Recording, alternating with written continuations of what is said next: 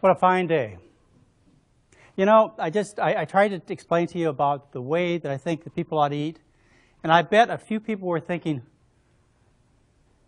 that's too difficult to live on a diet of starches, vegetables, and fruit. That's too difficult. Well, a couple days ago, I was on an airplane, and the lady in front of me asked for a seatbelt extender. Now, that's difficult. Getting your breast amputated, that's difficult. Having your chest exposed to stale operating room air with bypass surgery, that's difficult. Taking so many blood pressure pills that you become impotent, that's difficult. Eating oatmeal and going for a walk is easy. I take the easy way out, honestly. I mean, I, I watch what people go through and I say, why do you, why do you make it so difficult? When, when it can be so easy to enjoy good health, to feel good every day. But part of the problem that people have is that they have been misinformed. And so what I'd like to talk to you about is about five dietary myths that keep people fat and sick. And until you get over these misunderstandings, it'll be hard to change your diet. You'll be frightened. You'll think you'll be malnourished by eating a diet based on starches, vegetables, and fruits. So let's get into the five dietary myths and find out what the truth really is. The first myth is starches make me fat.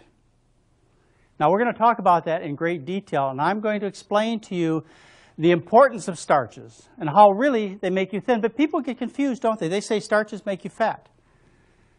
Why would they say that? Remember, you look around the world and you see people who live on starch-based diets like the Asians are trim.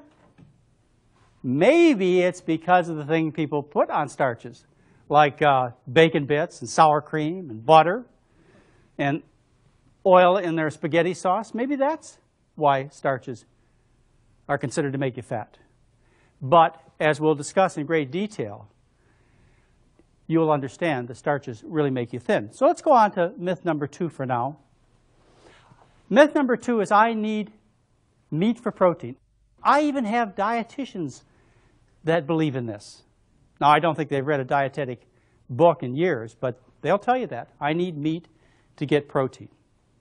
Well, how do we debunk this myth? Well, first of all, we have to realize that there's protein in plants. How do we figure that? Well, there's enough protein in plants to build our biggest animals, hippopotamuses, giraffes, elephants, horses, cows. If you can grow those big animals with their great protein needs, you ought to be able to grow a puny little human being, don't you think? Yeah. Well, the scientific research uh, really lays it out for us. Experiments done in the late 1940s, early 1950s on men and women showed really what we needed in terms of protein. If you take all of your calories, that's 100% of the calories you eat in the day, and you divide it into calories that come from protein, calories that come from carbohydrate, calories that come from fat, only 2.5% of your calories have to come from protein to meet all of your protein needs. Only 2.5% of the calories. Now, the World Health Organization, they took this information and they made a recommendation in 1974 that still stands today. They took the experimental findings that say you need 2.5% of your calories as protein, and they doubled them to make a definitely safe level. They didn't want anybody left out. Anybody that got malaria, broken bones, anybody got a serious infection. They want to cover everybody. So they have recommended since 1974 that 5% of your calories come from protein. Now, let's take a look at some of the foods that I would recommend to you. Rice, 8% protein. Potatoes, 11%. Corn, 12%. Spaghetti, 14. Oatmeal, 15. Bread, 16. Beans, peas, and lentils, 26 to 28% protein. It's impossible to design a protein-deficient diet based on whole vegetable foods. You can't do it. No scientist can do it. No dietitian can do it for a very simple reason. Nature designed her foods complete long before they hit the dinner table. Had to be that way. If it wasn't that way, you would have some type of sensory mechanism so that you went out and searched out these high protein foods. But the truth is, if you get enough of starches and vegetables to eat, you get satisfied. What is the greatest time of growth in a human being's life. They're a baby, right? They, they double in size the first two years of life. And what's the ideal food for a baby? Humans, that's right, mother's breast milk. Mother's breast milk is 5% protein. At a time in life when you're doubling in size, your ideal diet is 5% protein. At a time in life when you shouldn't be doubling in size, but many people are, instead your diet could be rice at 8%, spaghetti at 14, or beans, peas, and lentils at 26 to 28% protein. Easily, plant foods supply all of your protein needs. Now, once you get past that understanding, your misunderstanding, that myth, then the next thing you might ask yourself is, uh, is the protein complete? Does it have all of the essential amino acids that I need for proper growth? Amino acids are the building blocks of protein. There are 20 amino acids that build all the proteins in nature. They build all the proteins in nature by rearranging a different sequence. Just like you build all the words in a dictionary by taking 26 letters and rearranging them in a different sequence. You make all the proteins for elm trees, mosquitoes, hippopotamuses, and people with the same 20 amino acids rearranged in a different sequence. Of those 20 amino acids, we can make 12. So we call those non-essential, unessential. We make them out of the basic materials of sulfur, nitrogen, carbon, oxygen, and hydrogen. They don't have to be in the food. They're unessential. But of the 20 amino acids, we have to have eight of them in our foods. So we call those essential amino acids, and they are tryptophan, phenylalanine, leucine, isoleucine, lysine, valine, methionine, and threonine. Experiments were done in the late 1940s, early 1950s, where they took people and they fed them synthetic diets. And what they did is they determined which of the amino acids were necessary, which were essential. And they got a clue from doing animal studies previously. And they determined these eight essential amino acids were necessary. And then what they did is they determined how much of each essential amino acid that a person required. And they did that by slowly removing one of the essential amino acids until people could not synthesize the proteins properly in their body. They'd start spilling large protein fragments out of their body through the urine. And then they got the clue that that wasn't enough amino acid for proper synthesis of all the proteins. So that was set as the minimum amino acid requirement. And by the way, that was the maximum any subject required in the experiment. Then what they did is they took the minimum requirement, which is the maximum any subject required in the experiment, and the difference was great in the, in the subjects. They took that and they doubled it, and they made a definitely safe value, which they called the recommended amino acid requirement. And today, if you look in a dietetic handbook, what you find are these values, the minimum and the recommended.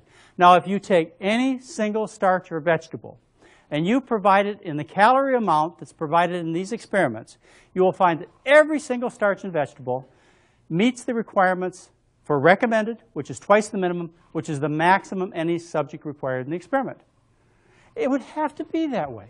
I mean, why would our creator design a system where we have to go out and match our beans with our rice and not give us a drive to do that? There's no taste bud that tells you to do that or any sensory mechanism tells you to do that. You go out, you eat enough potatoes, enough rice, and you're satisfied. Now, throughout history, it wasn't this scenario. It wasn't a scenario where the, the uh, person who secured food in the family would go out of the house and tell the, the homemaker, gee, I hope I find enough beans and rice for you and the kids today so we can get the complete amino acids. What was said is, I hope I have enough food so we don't starve again. And if that food was obtained, then the family members were sufficiently and properly nourished. The essential amino acids that we get are provided easily by plant foods, and our requirements for protein are likewise supplied easily by plant foods. Now, we require a certain amount of protein. And if we take in more than that amount of protein, the body has to dispense with it. The body has two mechanisms for dispensing with excess nutrients. When we eat, it takes the nutrients and utilizes the ones that we need. Then it has to get rid of the excess by either storing the excess, as we do with fat, we easily store it here, or it dumps it out of the body. Now let's consider protein. According to the experiments, we need, say somebody my size needs 20 grams of protein a day. The World Health Organization says I need 38 grams of protein a day. What if I take in what the average American takes in, say 140 to 160 grams of protein a day? What happens to that extra protein? Do I store it?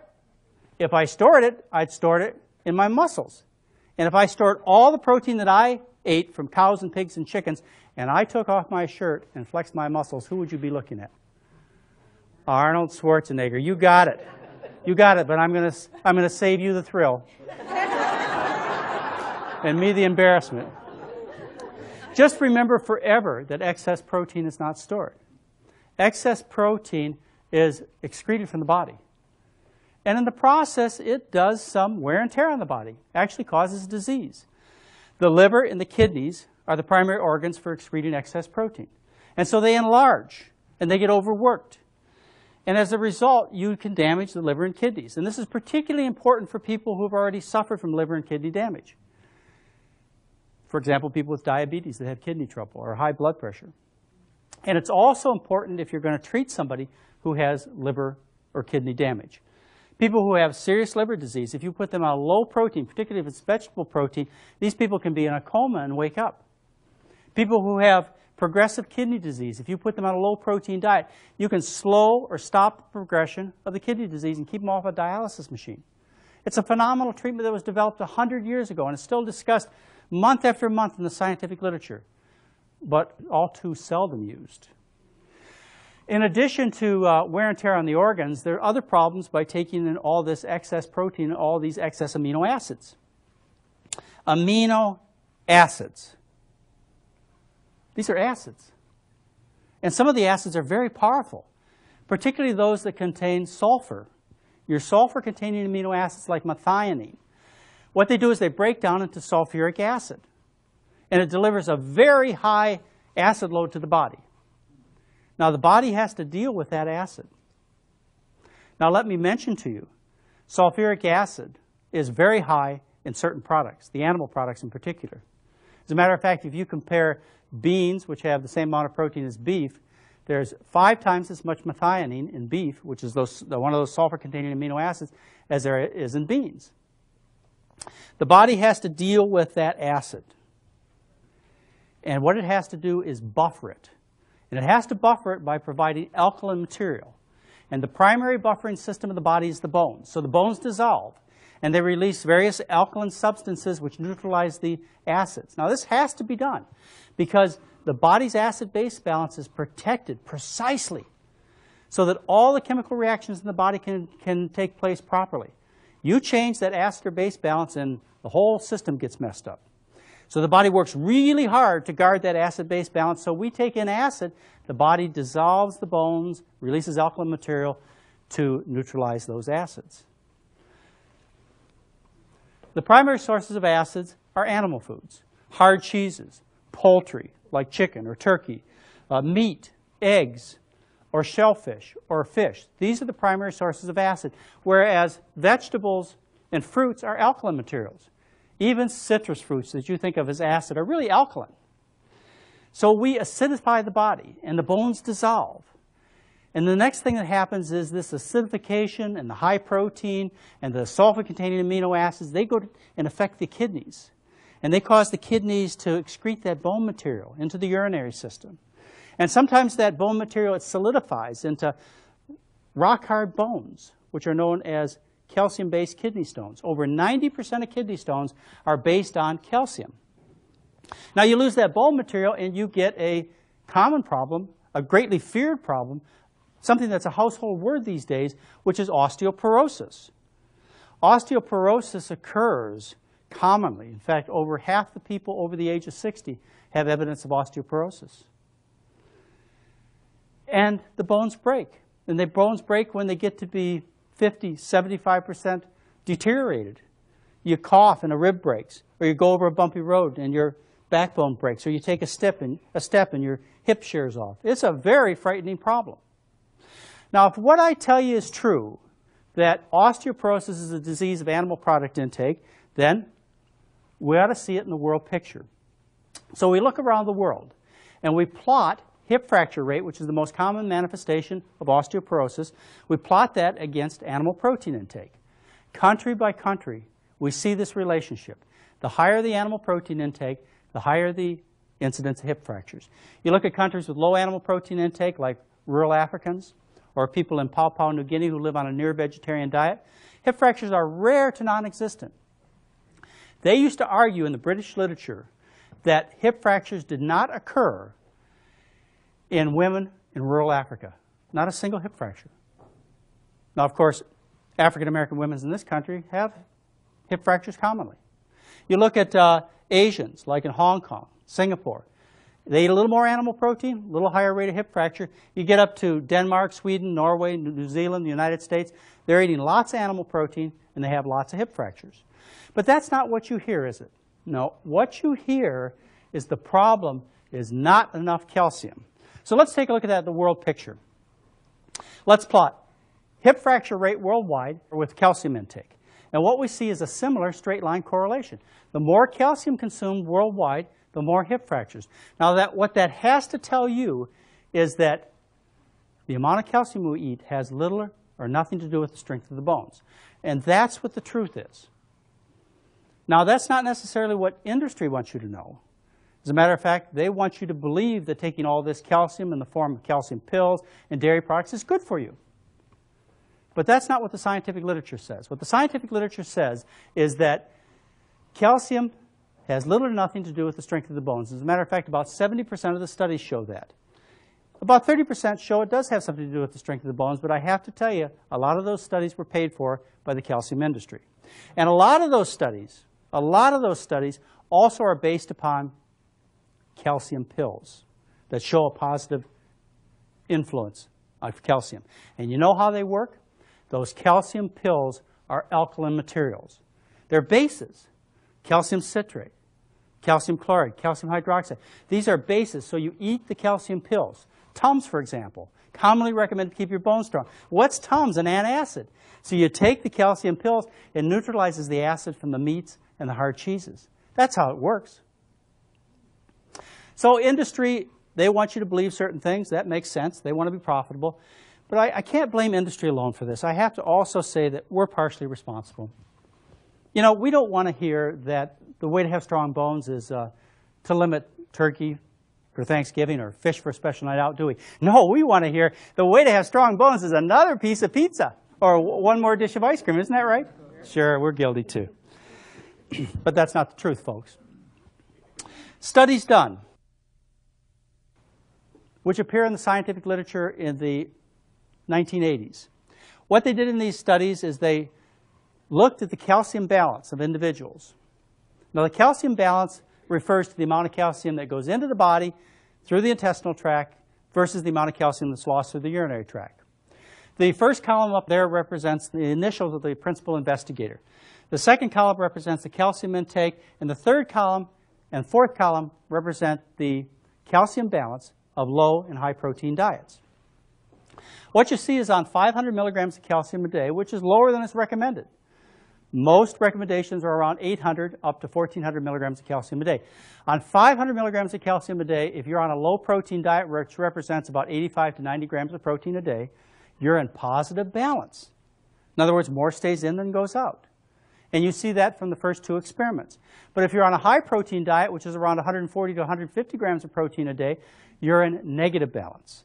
Increase that calcium intake to 800 milligrams. Low protein diet, positive balance, high protein diet, negative balance. Now go up to the highest recommendation that's given, and that's 1,400 milligrams of calcium a day. Low protein diet, positive balance, high protein diet, negative balance. And these are all the studies that have been published that have looked at this directly.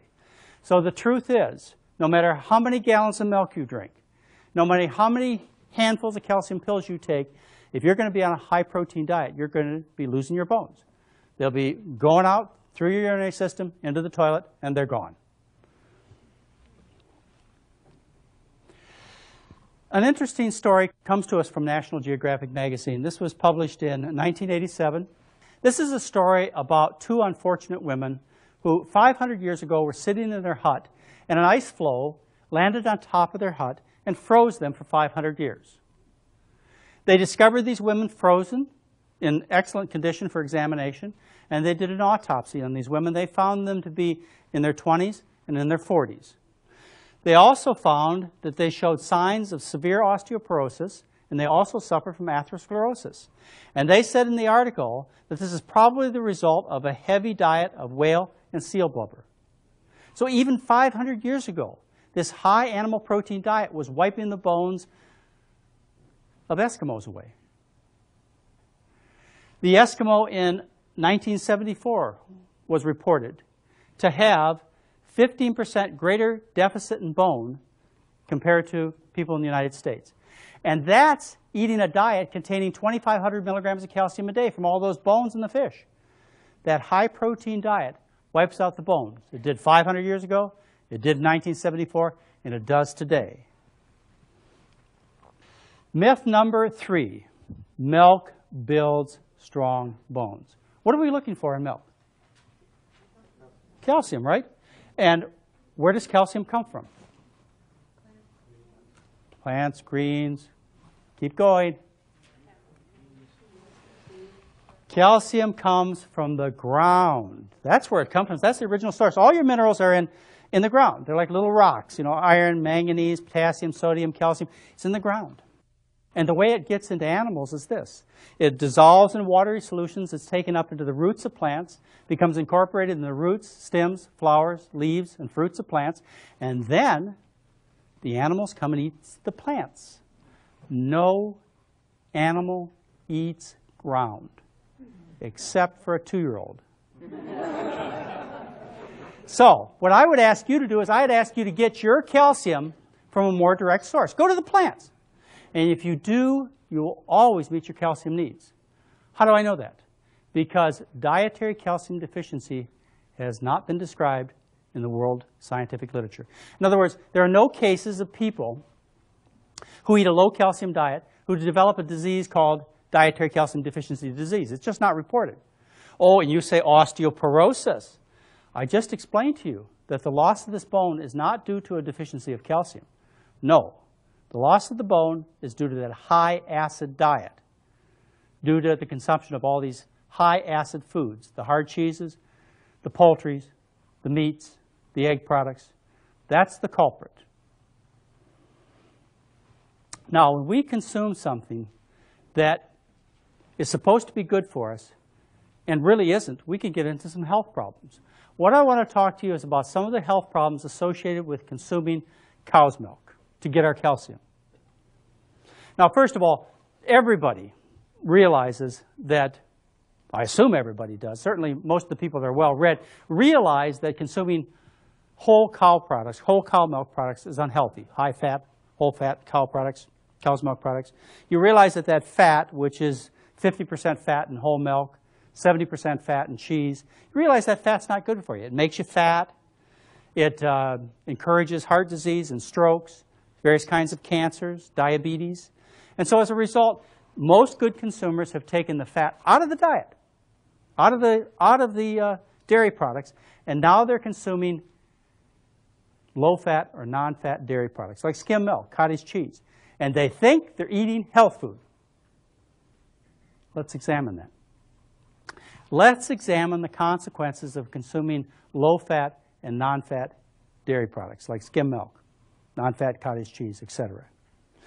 The first clue that you would get that consuming these low-fat dairy products wasn't good for you is when you looked at the sugar that's in the dairy products. When you take the fat out of the dairy products, you're still left with milk sugar called lactose and cow milk protein and things associated with that protein. As a matter of fact, the relative amount is increased as you take the fat out. The milk sugar lactose should give you the first clue that you should not be consuming dairy products. Lactose is not digested well by over 70% of the world's population. They get diarrhea, stomach cramps, and gas. It's called lactose intolerance. It's due to a deficiency of an enzyme called lactase. Lactase is there to digest milk, so when you're a baby, you digest mother's milk, which is good. But after you get to be four or five years old, you're supposed to be off the breast. You have no need for milk, so the enzyme disappears. Well, when you answer the dairy industry's advertisements to drink milk, for everybody at every age, then you don't have the enzyme. You can't digest it. As a result, it causes diarrhea, stomach cramps, and gas. I mean, just based on that, people should step away and say, why should I be consuming this? It makes no sense at all. But there's more to the story than that. The protein part of the milk, Remember, there's lots of protein in non-fat dairy products. The protein part of milk is the number one cause of food allergy. Now, scientific research says somewhere around 11%, maybe a little less. I don't agree with that. I would say for the people that I see at my clinic at St. Helena Hospital that somewhere upwards around 50 to 60% of people, when they get off the dairy products, symptoms that I relate to cow's milk allergy disappear. But the problems that we know are caused by cow's milk allergy are snotty nose, ear infections, asthma, eczema, bedwetting problems. Can you imagine bedwetting problems caused by cow's milk? Let me tell you a story. About 10 years ago, Mary and I gave a talk in Beaver Creek, Colorado, to the Young Presidents Organization. Now, these are the movers and shakers in the world. To be a, a member of the Young Presidents Organization, you have to be the head of a company that makes more than $5 million, and you have to be 40 years of age or younger. So I was giving this talk on the principles of good health that I so believe in, and my host was the president of one of the biggest hotel chains in the country. And because he was my host, he had to sit there during the whole presentation. Now, his wife was sitting in the presentation voluntarily. She liked everything I had to say. But he was sitting there begrudgingly, to say the least. He hated everything I had to say. As a matter of fact, he took me out to dinner that night, because he had to as a host, and he proceeded to order a great big thick steak and three black label scotches and told me exactly right to my face what he thought of me. Well, his wife heard this story about bedwetting problems and cow's milk allergy. And I explained to her what happens. What happens is the child drinks the milk, and some children, the milk goes into the gut, passes through the gut wall easily into the bloodstream, and then it's filtered into the bladder and causes the bladder to swell like a giant hive. And then the children, because the bladder is swollen, can't feel the buildup of urine. So the kids go to bed at night, and the bladder fills up, and they can't feel the sensation that they need to get up and go to the bathroom. And the next thing they notice is just wet bed sheets. So I explained this to the man's, the man's wife, and she told me that she had a 9 and 11 year old who were faithfully going to the psychiatrist every month with their bedwetting problem, and everybody was feeling guilty about it.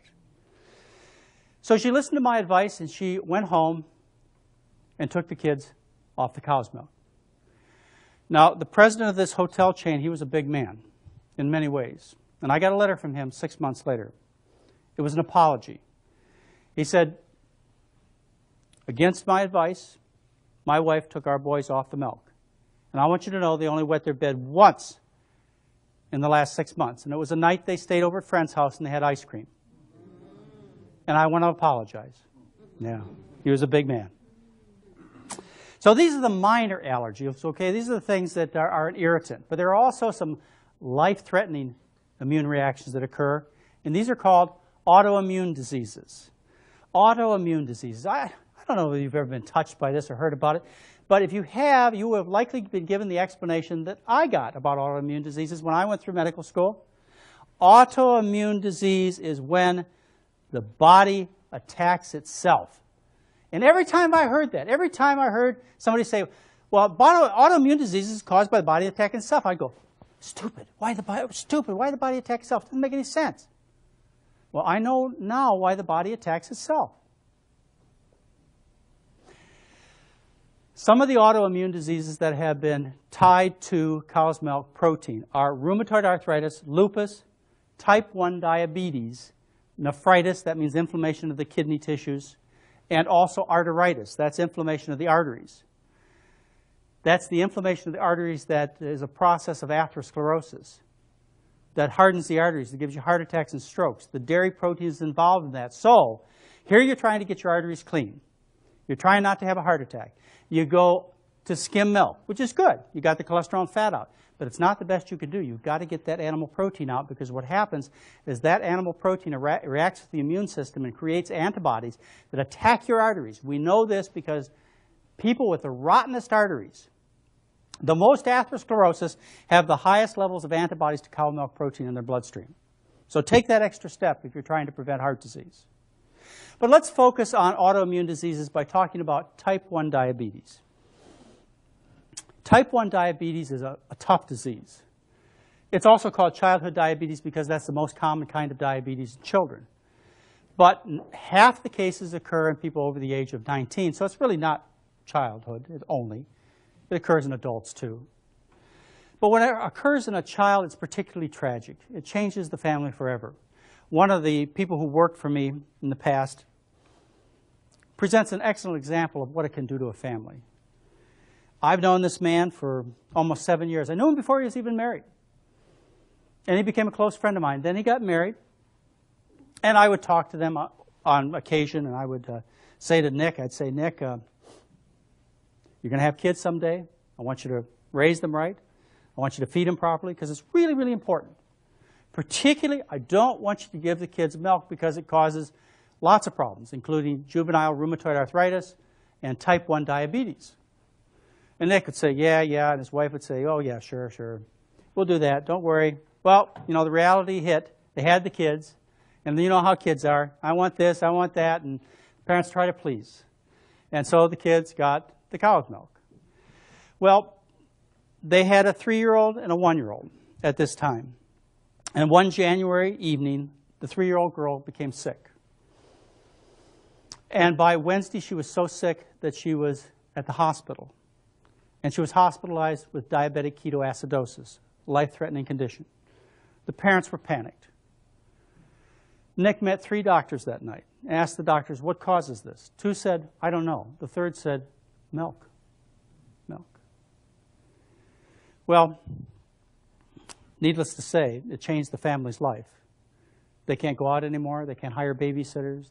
They worry night and day about what the child eats, what the child's blood sugar is. Child controls the family based on the food and based on the child's sicknesses. Just the whole focus of the family is now on this child's diabetes it hasn't made their lives better, from my perspective, to say the least. And even to this day, you know, it's hard for me to, to look at Nick and look him in the eye. And the reason is, I know you probably think because, because it's one of those I told you so kind of things. No, that's not it at all. The reason is, is because I look at Nick and I, I feel somehow I failed him. You know, somehow I, I, didn't try hard enough. I didn't try be forceful enough or convincing enough. I wasn't articulate enough. I, I didn't convince him with the importance of this enough. And I feel like I left, let his family down because their whole lives are changed because of this. Type 1 diabetes, that's where the pancreas, the cells that make the insulin in the pancreas are destroyed. And you have to take insulin the rest of your life. And it's usually a, a short, difficult life, too, because these people fall apart very quickly because they're now they're handicapped. And so they can't defend and repair as well. So they get an infection in their foot, and they could lose their leg. And they're fed the typical American diet usually, and that's a diet that kills people without diabetes, so they die of heart attacks, they go blind, they get kidney failure very quickly. They'd do better if they ate a better diet. And I always recommend type 1 diabetics eat a healthy diet because if you take really, really good care of them, patients with type 1 diabetes, they'll live long and fully functional. I've seen people with type 1 diabetes 40 years after diagnosis. The eyes working, the kidneys working, everything fine. Whereas they should have had a major complication within 11 to 17 years. 40 years. But these people were raised on a diet taught by Walter Kempner at Duke University, the rice diet, a diet of rice and vegetables. A little bit more austere than what I recommend, but certainly no more healthy than the diet I recommend. So people who are unfortunate to get this disease you know, life's not over. You still got some choices to make, and you can still make a difference that allow you to function well and live well, and your children too. But let's talk about the evidence that says that cow's milk protein causes type 1 diabetes. The first thing that was noted was that around the world, when you compare the incidence of type 1 diabetes to cow's milk consumption, you have almost a straight line one-to-one -one correlation, one of the strongest correlations in medical epidemiology. Investigators took this information back to the laboratory. And they set up experiments where they had laboratory animals consume cow's milk. And what happened is these laboratory animals developed antibodies to cow's milk that attack not only the cow's milk, but also the insulin-producing cells of the pancreas and cause these animals to become diabetic. The classic study in people was published in July of 1992 in the New England Journal of Medicine. They looked at 150 children with type 1 diabetes. And they found that all of these children had high levels of cow's milk antibody in their bloodstream. And the antibody was not just directed to cow's milk, but to one specific protein on that cow's milk, in that cow's milk. And actually, it was directed to a segment of 17 amino acid in that cow milk protein. To those 17 amino acids, unfortunately, those 17 amino acids also are present on the surface of the insulin-producing cells of the pancreas. So this is how the story goes. The child drinks the milk, eats the cheese, the ice cream, etc. In susceptible children, these are children with a leaky gut, adults too, remember, we're not just talking about children. People with a leaky gut, the protein goes intact through the gut wall into the bloodstream. And now you have cow floating around in the bloodstream, and the body says, hey, this is a foreign protein. This could be a virus or a bacteria. I can't let this continue. I must make an antibody against it like I would make an antibody against the protein coat of a bacteria or a virus. So it makes the antibody against the cow milk protein. And now that antibody floats around the bloodstream looking for those 17 amino acids. And unfortunately, it finds it on the insulin-producing cell of the pancreas. And it attaches and it destroys. And on the average, it takes five to seven years to destroy the pancreas. Now, how do you get a leaky gut? This doesn't happen to everybody that drinks milk or eats other cow, cow milk products. How do you get a leaky gut? Well, leaky guts are caused by eating the American diet. They're caused by toxins in the environment, environmental chemicals. They're caused by viruses. And they're also caused by consuming a, a medication that many Americans, if not most Americans, take, and that's nonsteroidal anti-inflammatory drugs. These are the arthritis pain pills that people take, nonsteroidal anti-inflammatory drugs, cause a leaky gut, which, by the way, can take as much as four months to repair after you stop the medication. So what we have is a situation where the body takes in this foreign protein, in some people it gets into the bloodstream, and the body makes antibodies to it, and these antibodies end up attacking the body itself, trying to protect it from foreign proteins. And it causes all kinds of different diseases, like I mentioned. Rheumatoid arthritis, where they attack the joints, lupus, where they attack the joints and skin, all kinds of different problems. So the way you solve the problem is you get the gut lining to be intact again by eating a good diet, staying off the medications. And what you can do is you can slow the progress of many of these diseases and actually reverse many of the disease problems. This process, by the way, is called molecular mimicry Molecular mimicry, understand what that means. It's a copy of the protein the body's trying to attack. The copy is the human protein. You can look it up on the internet called molecular mimicry. Another problem with non-fat dairy products is that they cause iron deficiency anemia. The most common cause of iron deficiency anemia in young children, called Heiner's syndrome, is due to the consumption of cow's milk. It does it by several mechanisms. One is cow's milk products are deficient in iron. They have virtually no iron in them. The calcium and phosphorus in cow's milk will complex iron from other sources like green beans or beef and make it insoluble. So now that iron can't get in the body. And the cow's milk protein causes the gut to bleed. In children, this may represent uh, microscopic blood or grossly bloody diapers. And you cannot correct this anemia by giving iron or blood transfusions. The only way you can correct it is by stopping the cow's milk. Now, this is part of the mechanism that's involved in causing iron deficiency anemia in women, which 20% of women in their reproductive years have iron deficiency anemia, and this is part of it. Another serious problem with consuming these non-fat and also whole-fat dairy products has to do with infection. There are various organisms that infect animals that also infect us. They cross species barriers. Why do those organisms threaten us? It's because we're animals just like they are. And so various types of bacteria like E. coli, which caused the uh, jack-in-the-box uh, infection up in Seattle, which was life-threatening. Uh, salmonella, which has infected the uh, cow's milk on many occasions. Listeria, which you often find in cheese. And tuberculosis, which infected the cow's milk products in Hawaii when I lived there. Also, a couple of other interesting sources of infection are bovine leukemia and bovine AIDS viruses. These are a potential threat and a real threat to people. Why are they a threat to people? It's because our systems are so similar. Why should you not worry about plants? Because plant systems are so different from us. Plant systems are different, and as a result, their threats, their infections, do not threaten us. You have no friends with Dutch elm disease. None of your relatives have aphids. Because the systems are so different. So when you're dealing with animal products, when you're dealing with animal products, you have to be concerned. Now you say, oh no, I heard, I heard about vegetable products being a source of infection. Yeah, okay. Uh, like the, the Odwalla apple juice. Well, that's because the apples fell and landed in the cow dung. And that's how they got the E. coli. Or you say, how about the strawberries? They're infected with hepatitis A virus. Well, that's because human waste got on the strawberries. That's not because strawberries get infected with hepatitis A. Let's go back to these two viruses. This is kind of interesting. We have a situation in this country where over 60% of the dairy herds are infected with bovine AIDS and or bovine leukemia viruses. And they're usually infected with both. That essentially means 100% of the dairy products are infected, close to 100% are infected with these viruses because they mix the milk together in vats. Now, how do these uh, herds get infected? Well, from various reasons. Various reasons. You remember, up until recently, part of the animal food was ground up animals, called offal. They also use the uh, same dehorning instruments. They use the same needles to give injections. They feed the baby cows pooled colostrum, and in that way they share these viruses.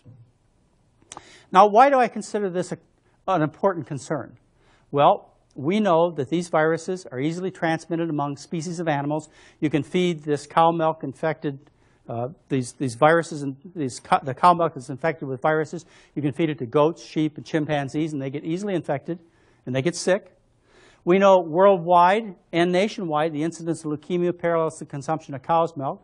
And we know that both of these viruses have infected human beings.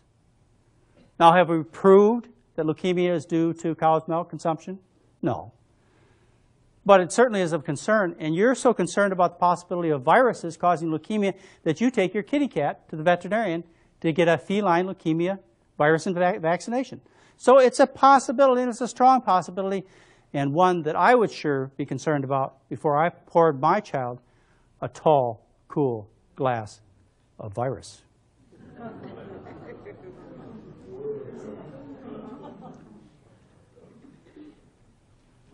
now, I'm going to risk my credibility with you. Okay, I'm going to suggest to you that cow's milk contributes to osteoporosis. Oh, he's gone too far this time.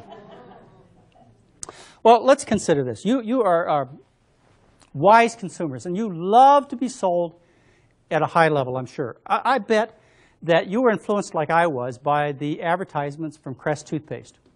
What they did is they took one group of kids and they, they brushed them with Crest, a fluoridated toothpaste. They compared them with another group that didn't get brushing with a fluoridated toothpaste.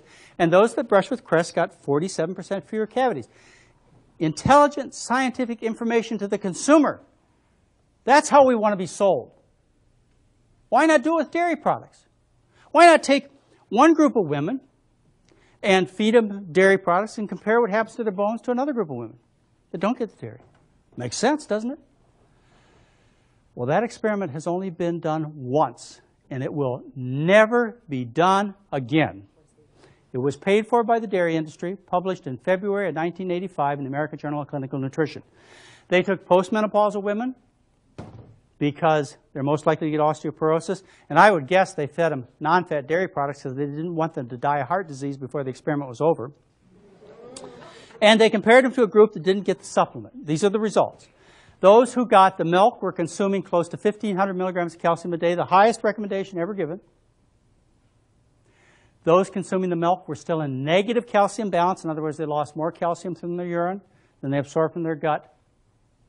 And if you look at the charts carefully, you'll see that those consuming the milk lost twice as much bone as those that didn't get the supplement.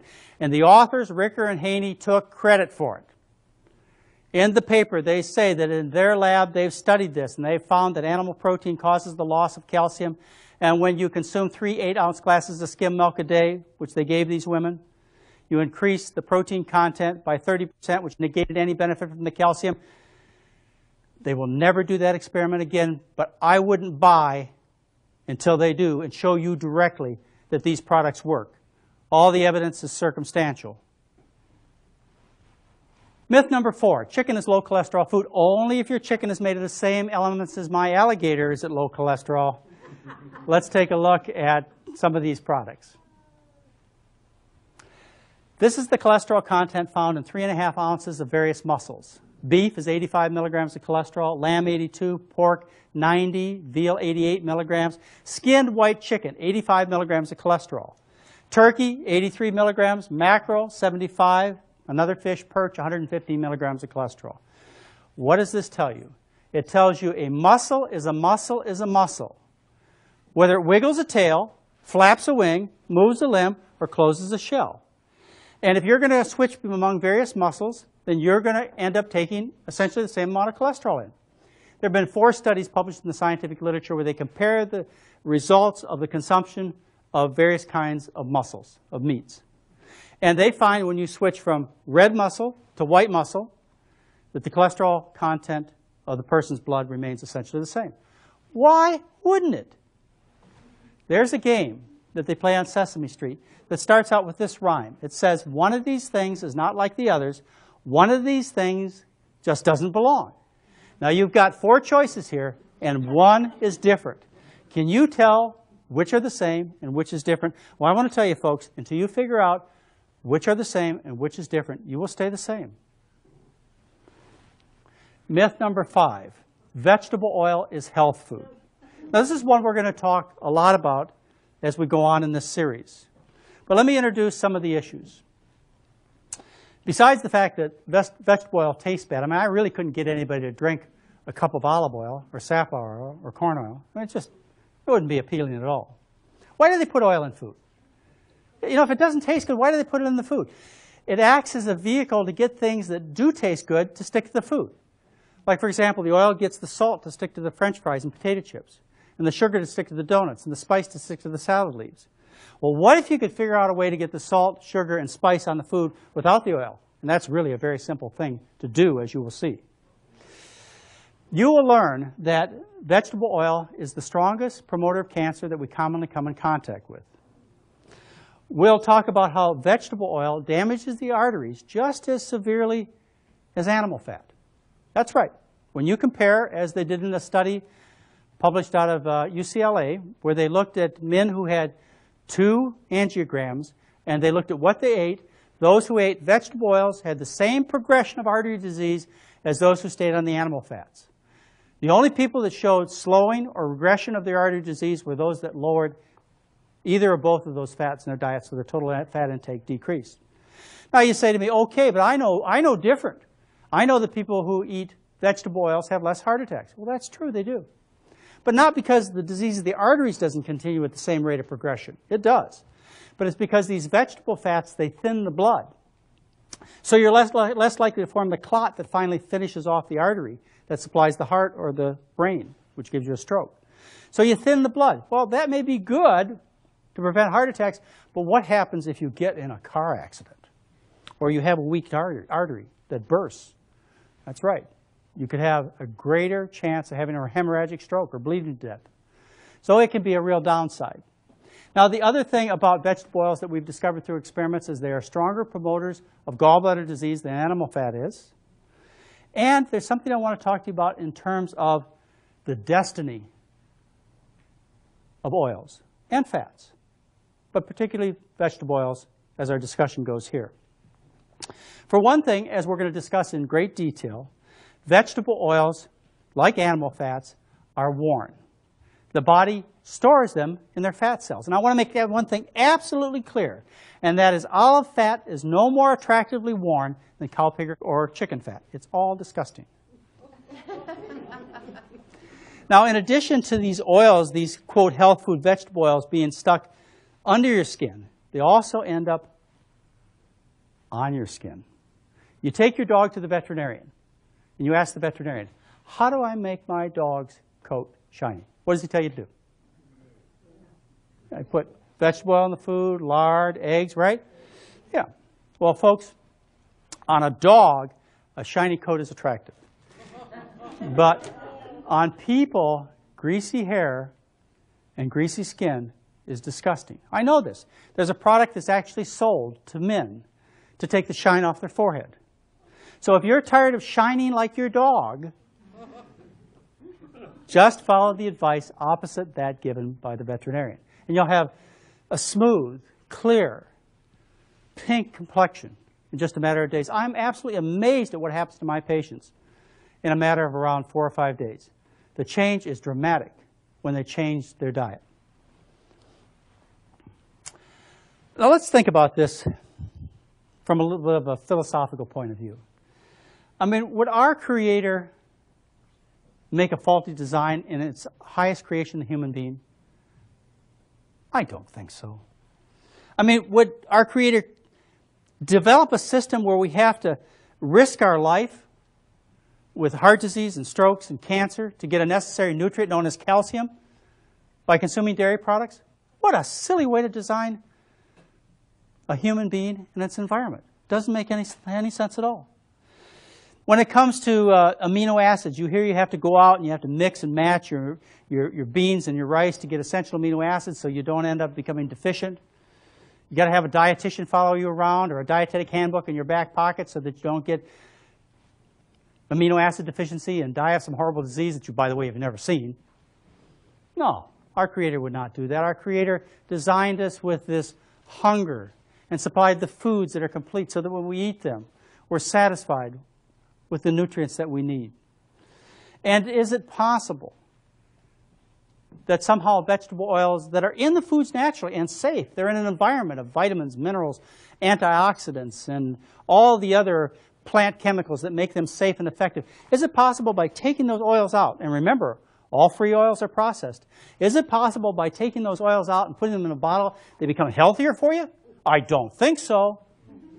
I think the way things were designed initially are the right way things should be, the correct way.